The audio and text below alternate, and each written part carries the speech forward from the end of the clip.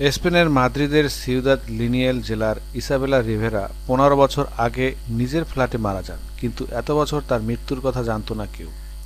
খবর ভারতীয় গণমাধ্যম ডেইলি হান্টের। গত মঙ্গলবার পুলিশ এই নারীর ফ্ল্যাটের বাথরুম থেকে মমি হয়ে যাওয়া তার মরাদেহ উদ্ধার করে। রিভেরার এক ভাতিজি পুলিশকে তার ফুফির অদৃশ্য হওয়ার বিষয়টি জানান।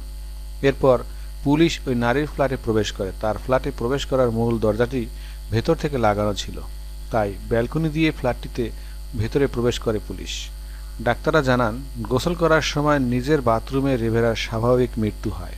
গত পনেরো বছর ধরে তার মরাদেহ এই বাথরুমের ভেতর পড়েছিল। তারা জানান, এক পর্যায়ে এই নারী, নারীর মৃতদেহ মমি হয়ে যায়। বাথরুমের তাপমাত্রা ও পরিবেশ তার মরদেহকে মমিতে রূপান্তরিত হতে সহায়তা করে।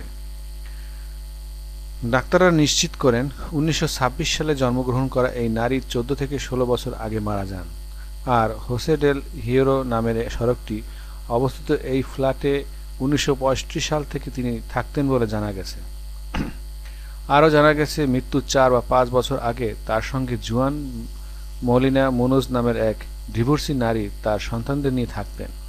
মলিনার মৃত্যুর পর রিভেরা একা হয়ে পড়েন। গণমাধ্যমটিতে প্রকাশিত এ সংক্রান্ত প্রতিবেদনটিতে বলা হয়, পরিবার ও স্বজনদের সঙ্গেও তেমন যোগাযোগ ছিল না রিভেরার।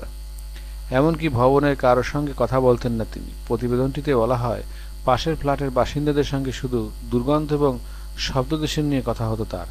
দু হাজার চার সালের সেপ্টেম্বরে তাকে সবশেষ প্রকাশে দেখা যায়। এতে আরও বলা হয়, তার ব্যাংক অ্যাকাউন্ট থেকে প্রতি মাসে ফ্ল্যাটের সব ধরনের বিল কেটে নেওয়া হতো। আর এই অ্যাকাউন্টে জমা হতো তার পেনশন।